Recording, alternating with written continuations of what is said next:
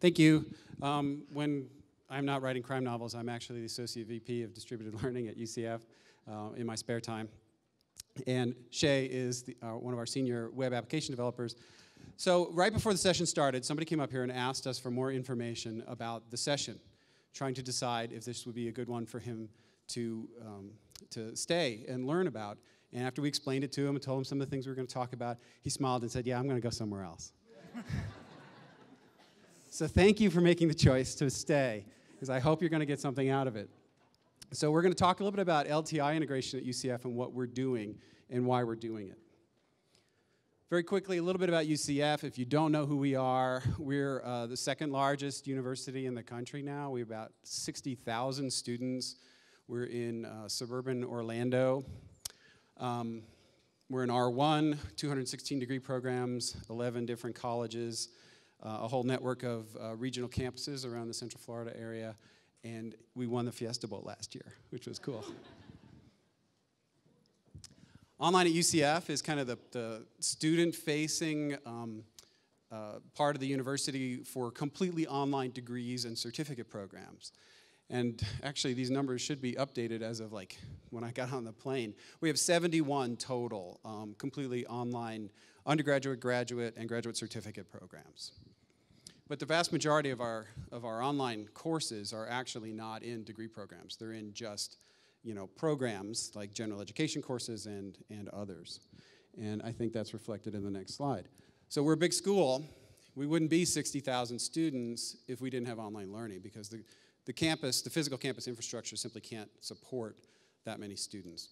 So UCF has a, an educational access mission and technology is one of the ways we do that. We do about 36% of our total student credit hours in online modalities every year, and about 76% of our students take at least one, usually more than one, online course every year. I have lots more stats if you want to know, but I won't share any more. So LTI strategy at UCF, why are we using LTI? One of the things we really like about Canvas, one of the things we think has been so powerful about this as a platform is the fact that it's kind of like a platform. It, it, serves as the foundation of that learning stack, if you're familiar with that concept, where we can plug things into it to customize it for our own institutional context, which might be different from your institutional context. And I know through other things that Instructure is working on, they're going to take that down even more granular so that individual faculty, individual students, through um, easy to use integrations, can customize their own instance of Canvas, even within the same course. So, like if I'm using Dropbox and you're not, I can use Dropbox through an integration to upload my assignments in Canvas. So, you, this customization is, is part of, I think, the power of Canvas and one of the reasons we like it so much. So customizing the experience has been one of the main reasons why we have um, really embraced LTI and, and the use of APIs. We want to make the UCF online experience unique. We think we have a lot to offer, and we want students to understand that taking an online class at UCF is going to be different than taking a, an online class at an institution down the street. Hopefully better, maybe not better, but at least different, and different is good. And then finally, and I've started this, the main reason we're we're embracing LTI is because you know we're a big school and we have problems, right? Everybody's got problems. So we're trying to solve problems through the use of kind of creative technology. And we're going to share some of those with you today. What the problem was, how we're trying to address it, and maybe some of these will resonate with you, and um, maybe you have some of the same problems that we do. So the first one we'll start with is um, a library integration. You want to do? Yeah. Okay. So Shea's going to do a, a, live demo. I'll sort of set up the, um, the, the problem. Students had to leave the learning environment to access library resources. So what, right? Well, what we wanted to do is make that much more seamless and, and integrate the library resources into the learning environment, which will make them much more ubiquitous, will make them much easier to use. And the way we did that is by adding a library tools page within the Canvas GUI. It includes our OneSearch utility, which is like, a, like Google for our, all of our library holdings, Ask a Librarian chat, links to um, articles, research databases. It's not everything the library has, but in, in collaboration with the UCF library, we figured out what are the top like eight things that students want to use when they're in a course, and this is what we came up with. And you know, how many hits have we had on this? Uh, over 70,000 just in the last semester. Yeah, it's been popular, and it's student facing. So this is for students. Now, the next one we're going to show is for faculty. It's a library integration for faculty. And we can, we can just go right into that. Yep. So this is just a regular uh, Canvas uh, wiki page. So I'm going to go right into this. And for our faculty members, we have a tool called OneSearch Lite, which just is right above here in the uh, editor button bar. So I click that.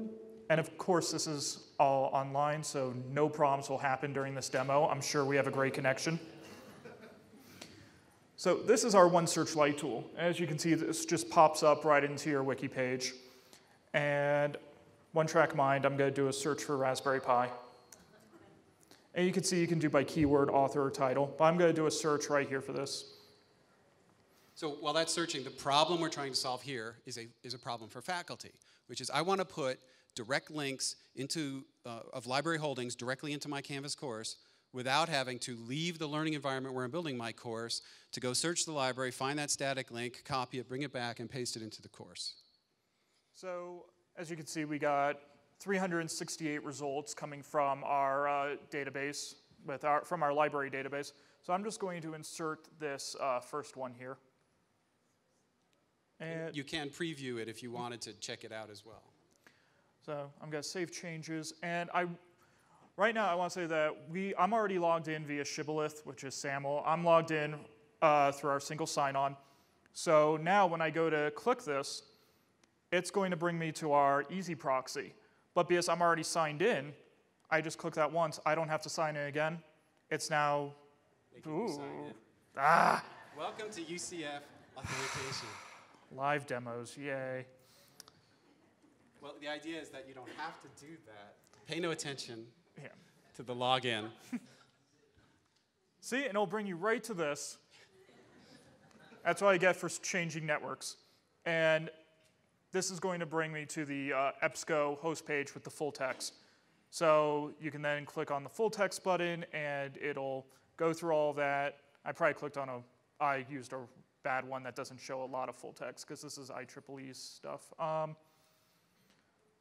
but if I go back, I can like do another one. It gives you the PDF files. It'll give you uh, the HTML full text depending on uh, uh, what the type of uh, full text article is.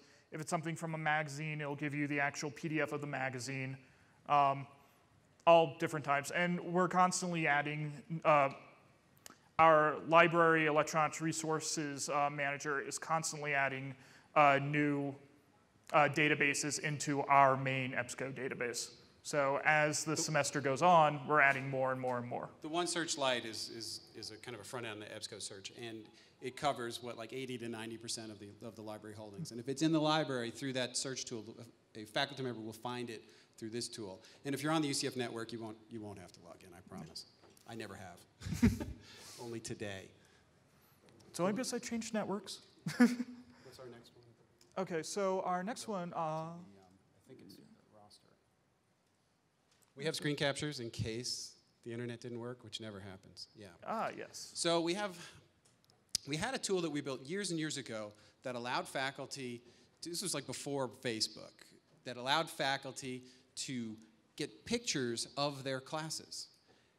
Whether they're teaching face-to-face with some sort of a web enhancement or they're teaching online, they really wanted to know what their students looked like. And when we took this thing away, which was programmed in like, you know, Stone Age on carved walls, it was really old code. We had to get rid of it. Some of the faculty really screamed. Like, we loved the roster tool, and we can't get that any other way. You can get it through PeopleSoft, but the way it displays is in a really non-user friendly way. It's like one long giant list and you would print out tens and dozens of pages um, in order to get your, your roster. So we built this tool called the roster tool. Yep, class photos. So let me just save that. So we've installed this as a user tool.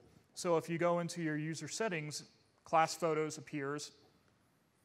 And this is now going to pull any uh, course that you're an instructor in.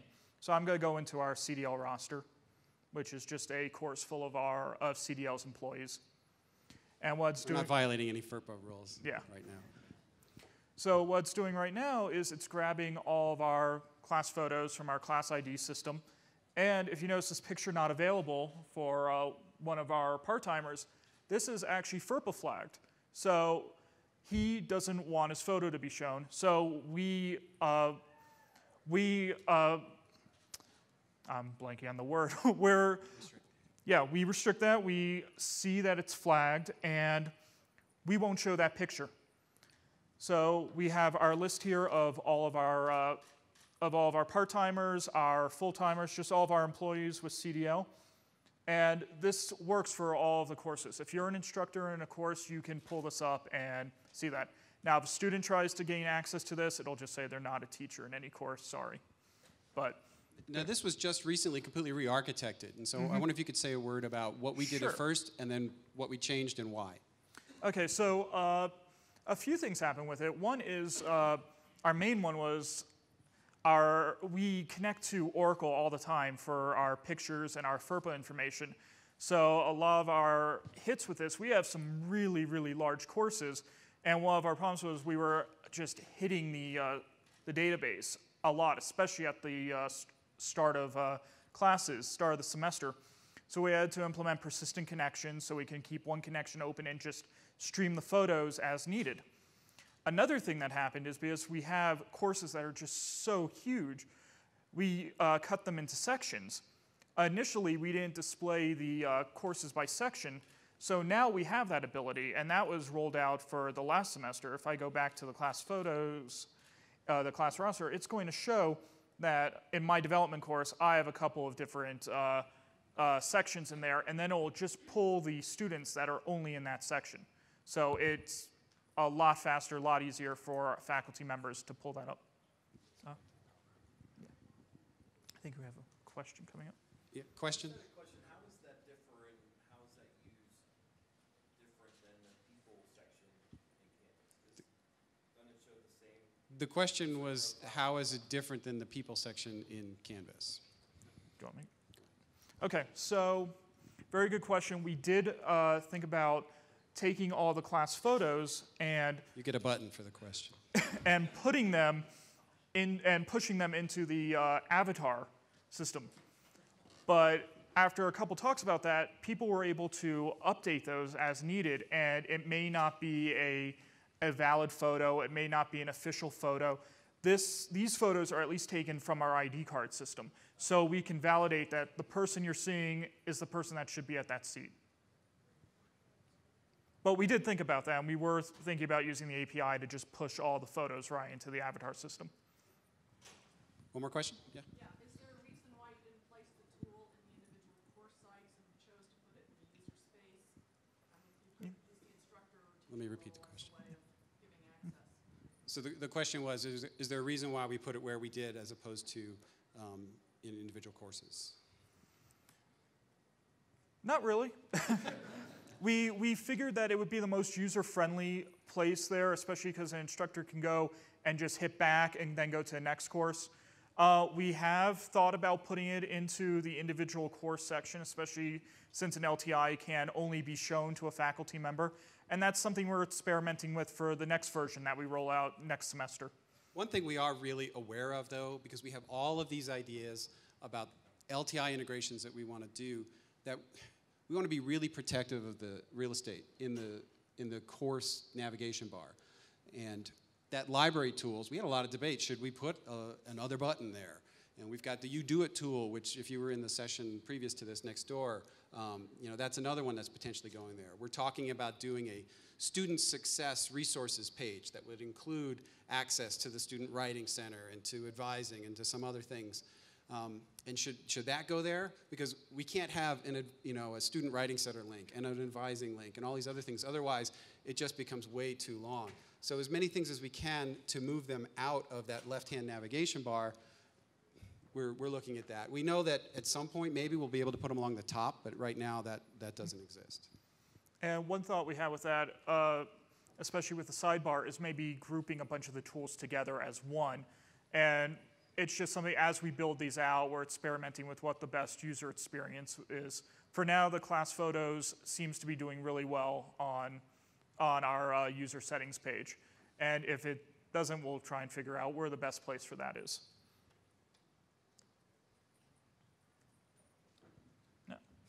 In our previous version, in our, our previous LMS, we had the ability to add these things that we called action icons, which were little visual indicators of what faculty wanted students to do in a course. So it was read this, watch this, do this, here's a quiz.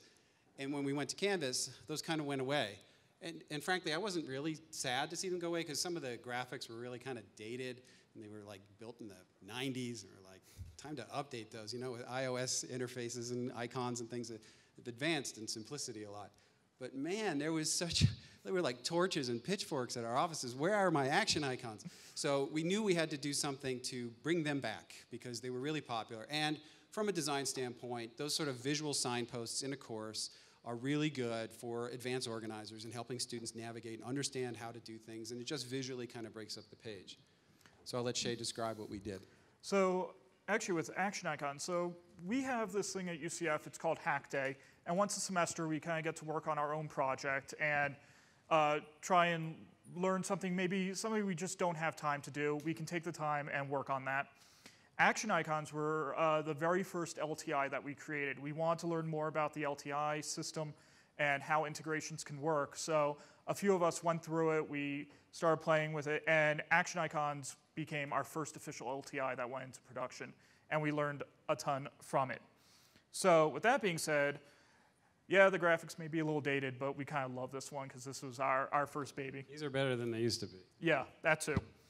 So uh, I have the Eben Upton Raspberry Pi thing, so I'm going to put uh, read this. So there's the icon for read this. I want my I want my students to know they better read that. So I put that in there. It embeds the graphic, hit save changes, and that's now there as an icon embedded in your course, just like that.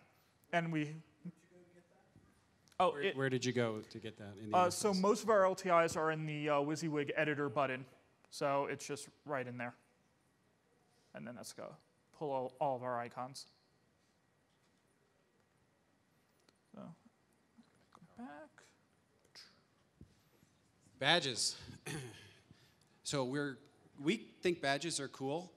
Not everybody on campus agrees with this, but we're not done. We're still fighting. We still will continue to evangelize badges, and so um, we wanted to add badges into the experience for faculty and students within Canvas. And it was also being driven by, we just did a, a big MOOC on um, blended learning called the BlendKit, and we wanted to do um, badges as a part of that. We had experimented with previous incarnations of that MOOC. Um, and we would scrape, we called it the gradebook scraper. It would scrape the gradebook to see if certain criteria were met and if you were eligible for a badge, and then it would issue you a badge. And I'll let Shea talk about the details. Yep. So sadly, we don't have a live demo for this right now because the the courses that we're piloting with badges have actually ended, uh, have already ended. But um, this was a this was a very interesting problem that we had to tackle. We had two um, uh, visual design courses that were about Dreamweaver and Adobe Photoshop. They wanted to issue uh, these badges as their uh, uh, as their students uh, finished uh, assignments, got good grades, et cetera, et cetera. So we came up with a, with a system based on Mozilla Open Badges that we would have a repository for our badges. They can see their badges through an LTI, that's this achievements link on the side here. Uh, they can see when they earned it, how they earned it, what assignment they earned it for, what course they earned it for, because some of them were in both courses, so they were earning uh, the same badges. And then, if need be, they can export it to any of the uh, badge systems out there that support Mozilla Open Badges.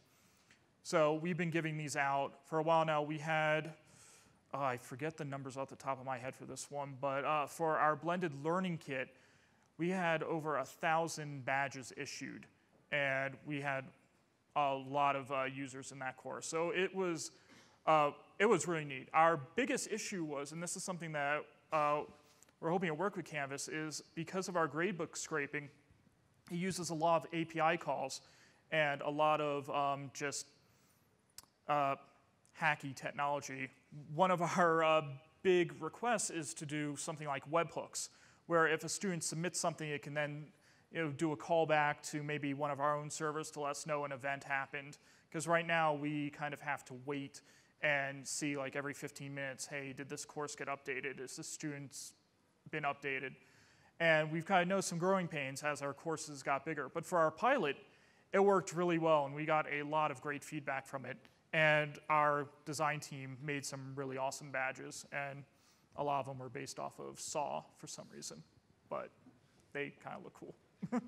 So if I can make one whiny complaint, so all Canvas people in the audience and listening out there online, um, th- those API limitations have really limited the amount of, what is it, awesomeness that we can put into the course.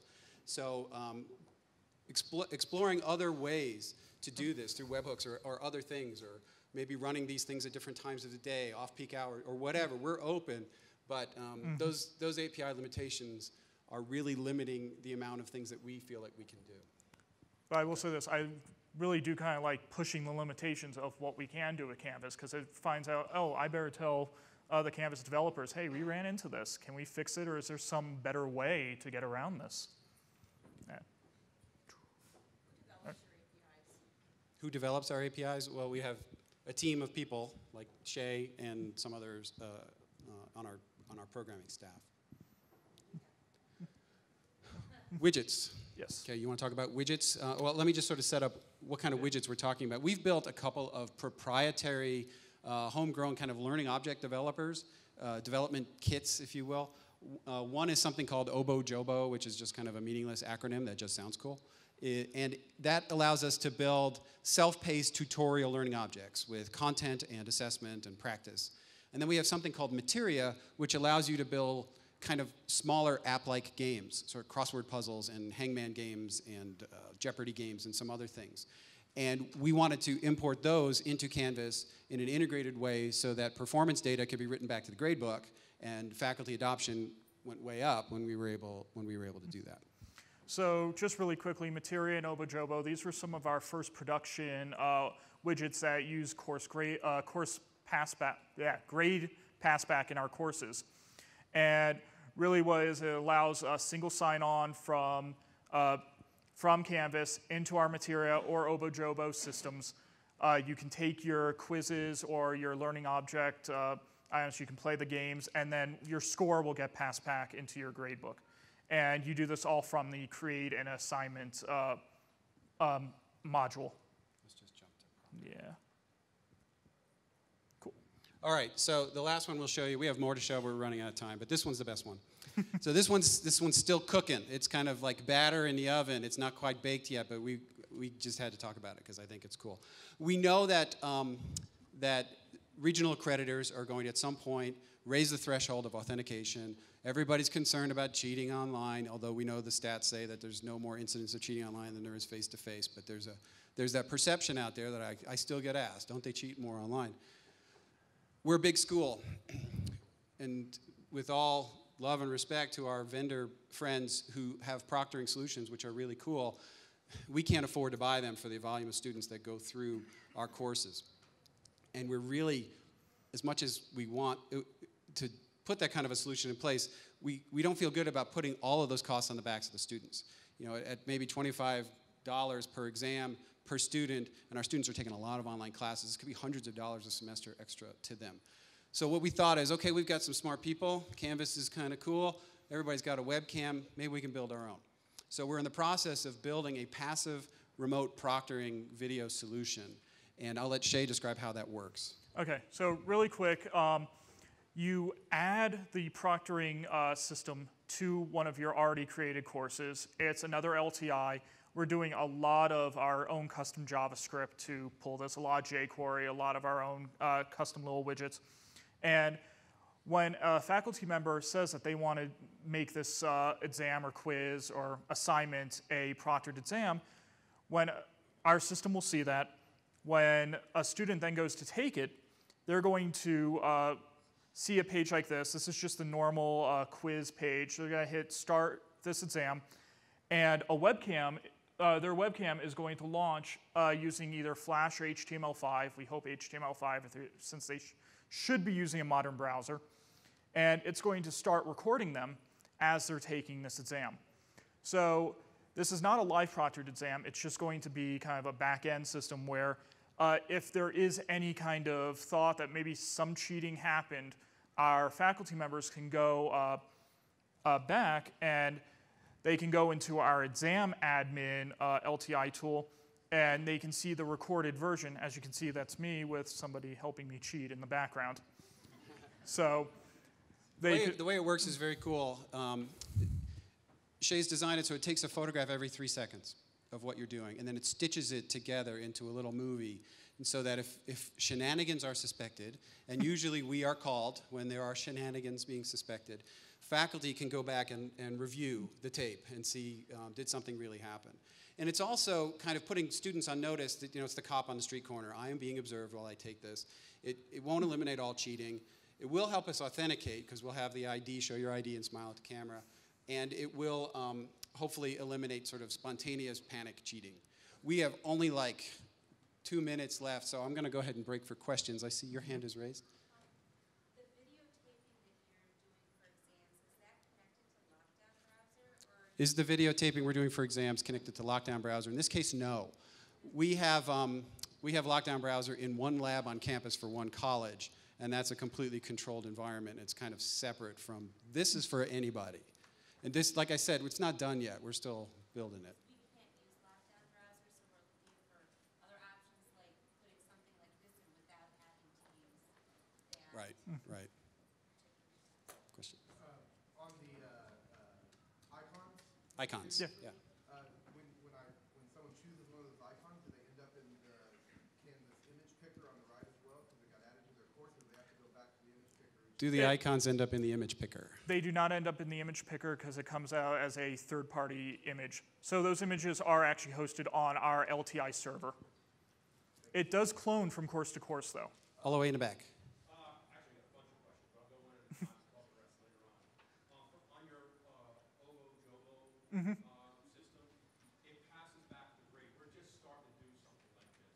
But part of the problem is, is that it's, um, if you do an ac- academic activity, that's considered an attendance mark for your online class. When it goes out, single signs on, and then brings back the grade, does it bring back the time it was submitted so that we can use that for attendance purposes? You should be able to get a timestamp from that. I don't. I'm I- going to yeah. say yes, but I don't know off the top of my head. I would assume yes because when you get the event, you should be able to grab the timestamp from that event happening anyway. Obo Jobo captures that data. I don't know if we're passing that back, but if you want to talk about financial aid reporting, I'm in the middle of that right now. That's a whole separate topic. Um, one more question. Is, do we have time? Maybe two more? Right here. Uh,